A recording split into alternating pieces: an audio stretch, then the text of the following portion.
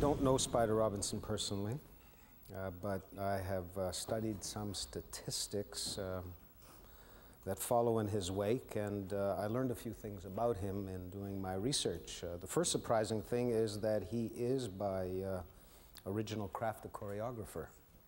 Did any of you know that?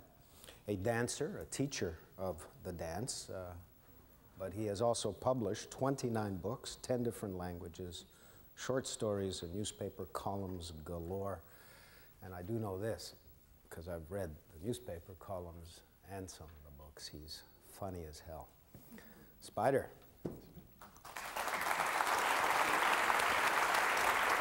Thank you.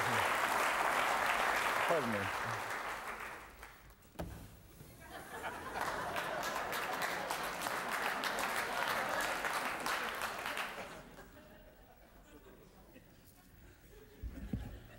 Sorry, Mr. Copeland. Uh, I was born and raised in New York, and I survived the 60s. I've looked down enough gun barrels.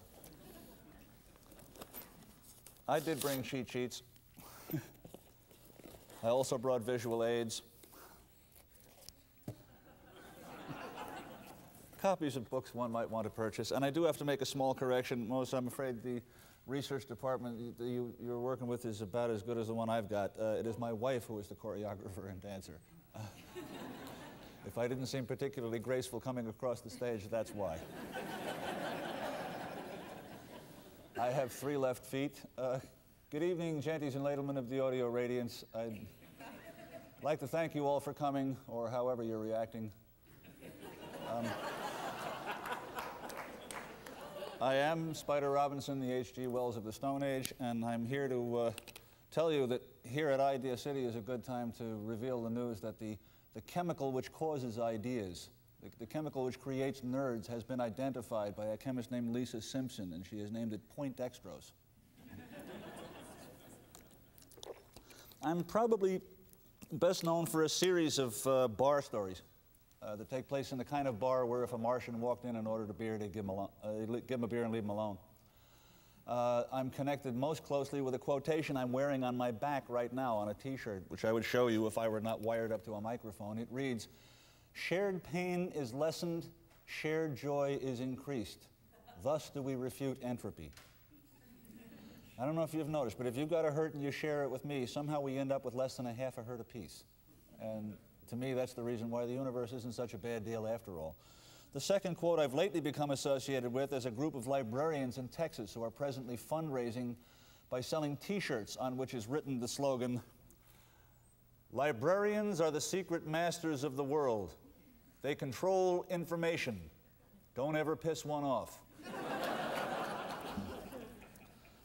That's mine too. Um, librarians are rather important in my life. If it weren't for a librarian, I'd probably be working for a living today. Uh, when my mom got tired of reading me Lone Ranger comic books around the time I was five or six, she took me down to a, what seemed to be a church from the way she was acting, called a library. And she pushed me through the door and said, Look for a nice lady behind a desk and tell her to give you a book. So I looked around until I found a desk with a nice lady behind it and said, Mommy says, Give me a book. And this woman, whose name I have failed to learn after years of repeated attempts, handed me a copy of Robert A. Heinlein's Rocket Ship Galileo. It was the first of a series of books Mr. Heinlein wrote specifically for juveniles, for children. And yet, although it was written for children, Heinlein was the first adult I had ever run into in my whole life, other than my mom and dad, who didn't talk down to me, who didn't treat me like an idiot, who assumed that I could follow along, and that if I, there were a few words I didn't know, well, I could keep going and learn the meaning from context. Uh, I went back to the library and said, You got any more by this guy? And they took me to a place where all of the books had a, a hydrogen atom being impaled by a V2 on the spine. This indicated, for some reason, that they were science fiction. And this was so far back that if a science fiction book had been published in hardcover, it was very good. And if it had been purchased by a library, it was terrific. Because back then we were a, the sort of despised ghetto we're becoming once again. And so I speedily learned that the, the science fiction section of the library was the place where the quality to crud ratio was the highest. Nowhere in the building did you have such a guarantee of excellence as you did in the science fiction section because they didn't really want that crap there in the first place. so if they'd been forced to, it had to be reasonably good. What the hell is science fiction then? Um, it's awfully easy these days to confuse it with something that comes out of Hollywood called sci fi. Uh, sci-fi, those of you who's, who've taken Latin know is the plural of scumfum and refers to scumfum Hollywood. Uh, a, a, terrible moment in history came when Star Wars came out and became a multi-billion dollar phenomenon because then lots of people pointed spotlights at us writers of written science fiction and said, that's what you do, right? And we all started to say, no, that's not what we do at all. Uh, you notice Mr. Lucas called that a space fantasy. Ours is a different. But then we thought, how much do we want to disassociate ourselves from a billion dollar phenomenon? so we kept our mouths shut with the result that now the average citizen is of the opinion that science fiction is stupid. It's, it's, it's uh, cowboys and Indians for morons. And I really can't blame them considering what comes through the tube all the time. My generation, we had our eyes on the stars. This generation seems to have its eyes on the movie stars. Well, written science fiction, if you don't know, is the, is the literature that exists to answer one of, to, to complete one of three phrases. The classic one is, what if? Dot, dot, dot. The other one we do real well is, if this goes on, dot, dot, dot. The grim warning, unless someone does something, this is going to, the result will be. That's probably the best known kind of science fiction among the general public. The kind I like best is the third kind. Isaac Asimov said, sometimes the sentence begins, if only. dot, dot, dot. And it's, it's when guys write stories that begin, if only, that other people pay attention, and the next thing you know, you're walking on the moon. Science fiction is, is the literature that's supposed to stand between the poets and the engineers and get them talking. God knows we need more poets. God need, knows we need more sensible engineers because look at some of the dopey things they're bringing us these days. Science fiction is the literature that acknowledges that there is a future and is willing to discuss the interface between technology and man. Well, no wonder it's not terribly popular nowadays. Technology is not very popular. For a list of ways in which technology has not improved modern life, please press one. All right? You all know what I'm talking about. I got an email a couple of weeks ago from a man who said, I hate my computer. I hate all computers. The people who thought of these things should be shot. It was signed Jeff Raskin. Jeff Raskin is the man who thought up the Macintosh. he was the original head of the Mac design team until it was yanked out of his hands by the money guy, by the man who wanted to be a multi billionaire and rushed out there on the market before it was ready. And that's why generations later, you and I are cursing our machines rather than smiling at them. I'm addicted to computers now. I can't go back to a typewriter. I have nightmares of being forced to be committed to keystroke committed to paper with every keystroke and using correct type and all that foolishness. But on the other hand, since 1984, when I bought my first Macintosh, I've probably sunk over $30,000 into the damn things. And today I own a machine which is not as effective and functional as the Fat Mac I had back in 1984. I could turn the switch on that sucker and be typing in 45 seconds. Now it takes me about five minutes. I don't know if this is necessarily progress. Progress has not been much popular these days. Folks don't want to hear about it. I heard there's a fellow who lives outside of Los Angeles named Al Nino who's been getting death threats. it's all his fault. Well, computers weren't really technology, folks. That was, that was technology that had been hijacked by the greed heads. Uh, and about the only way you can guard yourself against things like that is to uh, read a lot of science fiction. You have a clue what's going on.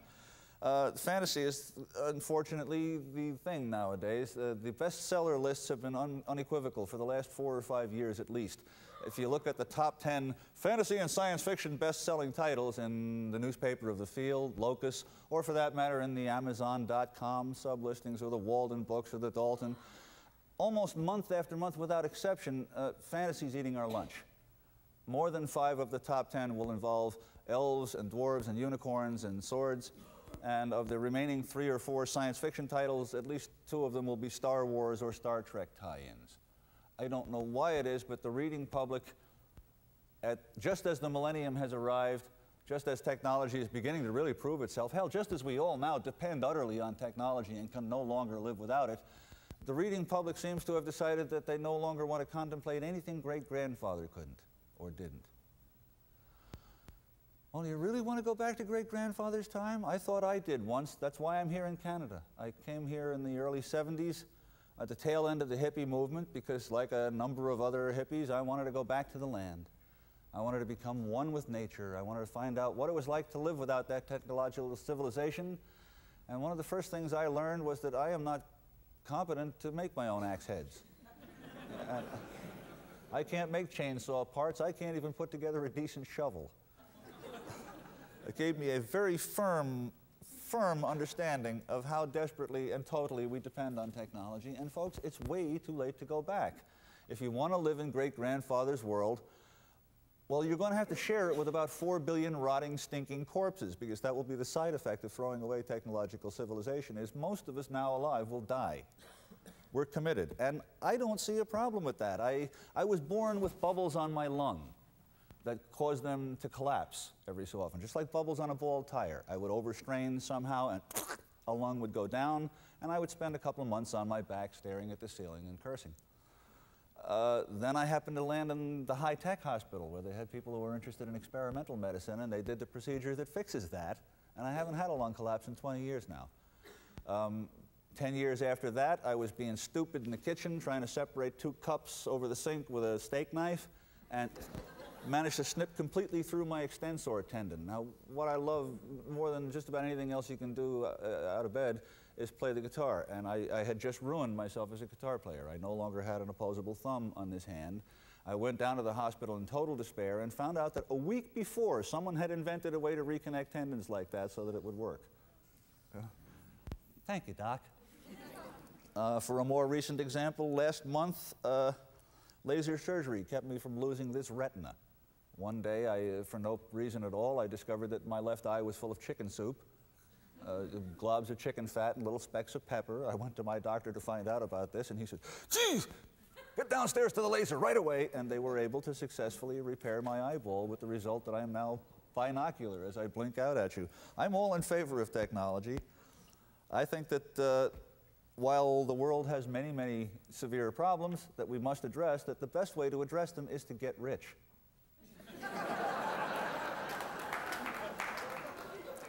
Fortunately, this turns out to be not all that difficult. Uh, endless riches are hanging right over our heads. It, it, if, if, it weren't for the absence of gravity, it would be raining soup. Uh, I think we all ought to get rich. Yes, we've made a lot of messes here on this planet, but did you ever notice that it, in the rich neighborhoods, they keep their lawns up real good? You know, there's the poor folks that got three or four trash cars out there on the lawn and, and, a, and a bunch of junk. I'm one of them. I want the human race to get rich, and for that, I think we're going to have to go for high tech. Uh, the trouble is that folks are yearning to stampede back to the past, and it's as silly as the urge to yearn, the, the urge to go back to the womb. I, it's understandable. It is not possible. You can't go back there. The best you can do, maybe, is try and build a better womb and visit it regularly. Uh, take my daughter, for example, and the womb. My daughter was a 10 and a half months baby she apparently got a sniff of the outside world and said, I ain't going. and the ninth month came by, and then the tenth month went by, and well, I could understand and sympathize with her position. It was warm and comfortable in there, and uh, there were no news programs to annoy you. But uh, unfortunately, by now she had become mature enough to be born. And so it was necessary for her to be born because if she was not, if she stayed there in the womb, she was going to drown in her own waste products. Not to put too fine a point on it, she had begun to shit and piss in there. and if she hadn't finally made up her mind at the last moment, we were going to have to go in there and induce labor and get her the hell out of there. Well, I think of the human race uh, the same way. I think of the earth as a womb with a fetus in it that is long past ready to be born and it is starting to drown itself in its own waste products because of its own fear and timidity. And it's time we got out there and, and inspected what God gave us, the 99.99999% of reality that is empty space. Um, very, very little of the universe is the surface of Earth-type planets. And unless we're going to spend all our lives huddling in corners and peeking through telescopes, we're going to have to go out and find out what it's like out there and how to live out there Fortunately, it, as I say, it turns out not to be too difficult. We just got a, a Christmas present from God this month. Uh, we discovered that Mars is soaking wet, that Mars is full of water, that if you were to sink a bucket near the south pole of Mars and dig up a bucket of earth and then put it over a flame, after a while you'd have less than half a bucket of dirt and the rest would be full of water. There's that much ice buried there. We've got a virgin planet next door. I wrote a column about this in the Globe and Mail, and my email box filled up with emails saying, What would you want to go and despoil Mars for? Why, it's a virgin planet. Why desecrate a virgin? well, if you. as Louis Armstrong said, if you don't know, you got to ask. You ain't never going to know. Uh, I mean, did you want to remain a virgin? Why would Mars?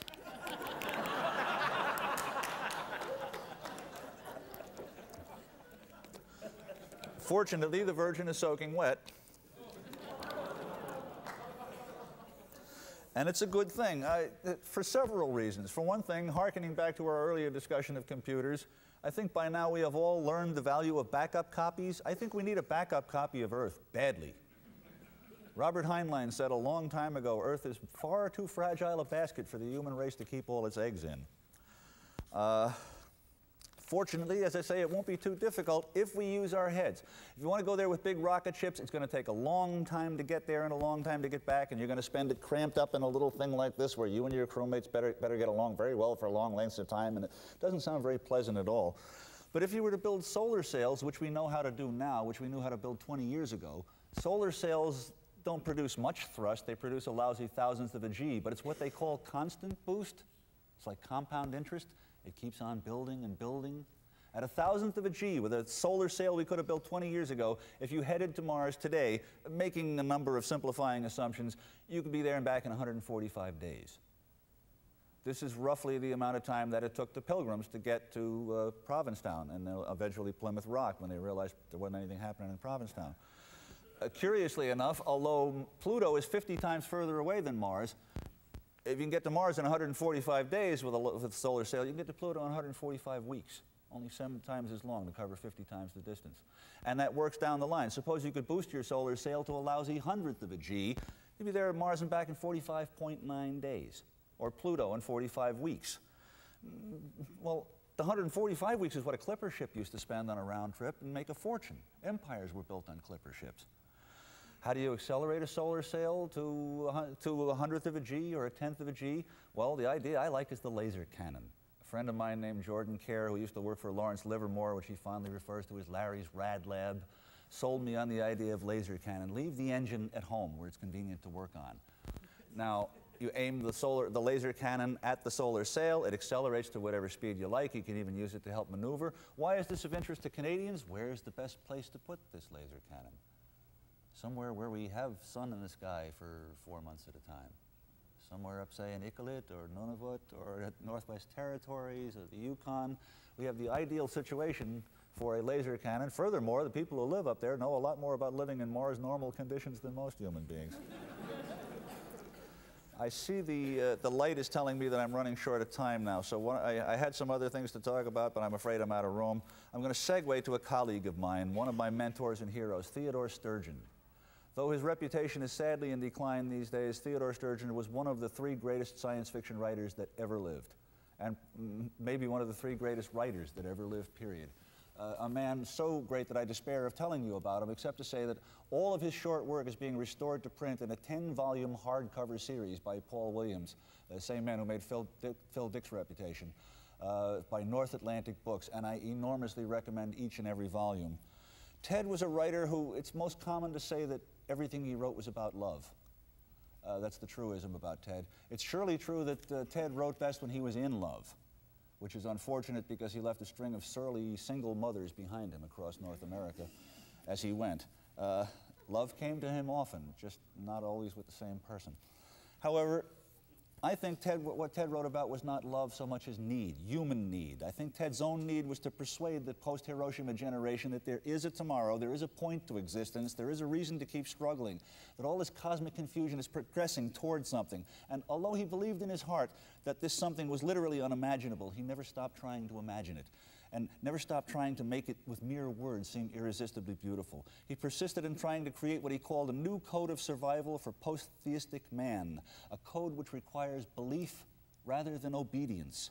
It is called ethos, he said. What it really is, is a reverence for your sources and your posterity, a study of the main current which created you and in which you will create a still greater thing when the time comes, reverencing those who bore you and the ones who bore them, back and back to the first wild creature who was different because his heart leaped when he saw a star. I would now like to read you one half page, forgive me, Moses, of the, the ending of one of Theodore's greatest stories because it's very relevant here. It is a classic story called The Man Who Lost the Sea. And it has to do with a man who, when he was a boy, very nearly died learning the lesson that you always spearfish with a buddy. Even if you wanted to fish all to yourself, you do not spearfish alone. That I don't shoot a fish, we do. Now, the sea sound this man seems to hear is really earphone static caused by the spilled uranium, which is killing him. And Ted writes The sick man looks at the line of his own footprints, which testify that he is alone, and at the wreckage, the wreckage below, which states that there is no way back, and at the white east and the mottled west and the paling fleck like satellite above.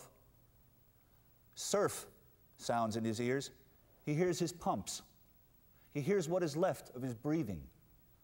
The cold clamps down and folds him round past measuring, past all limit. Then he speaks, cries out. Then with joy he takes his triumph at the other side of death. As one takes a great fish, as one completes a skilled and mighty task, rebalances at the end of some great daring leap. And as he used to say, we shot a fish. He uses no I. God, he cries, dying on Mars. God, we made it! Thank you for your sympathy.